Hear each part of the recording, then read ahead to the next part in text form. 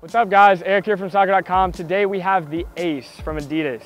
Now I know there've been a lot of questions surrounding the Ace and X release, controller chaos, which one are you? What does it mean? Well, that's why we're here to help. So I know you guys saw the X review from Sam over in London and he loved them and I've been dying to try out the Ace since. So we're out here, we got the Ace, let's go check it out.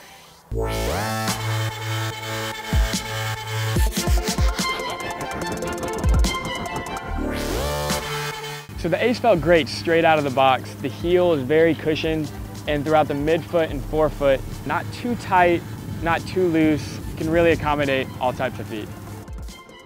Now Adidas built the Ace for the playmaker, the one who controls the game, who's constantly on the ball, asking for it, creating. For me, there's two main features of this Ace that maximize control. This total skin upper and these total control studs.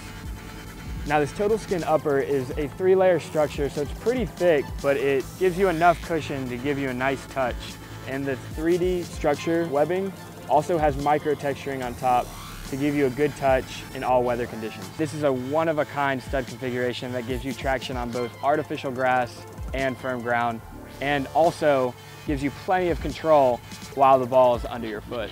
Now the Ace is for you if you're looking for comfort first, these feel great straight out of the box, just like the 11 Pro.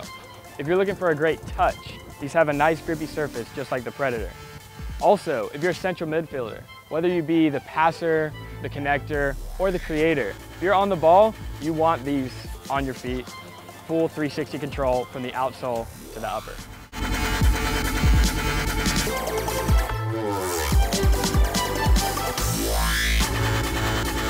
So I'm a very technical player. I like to connect the game, like to control the game, like play centrally.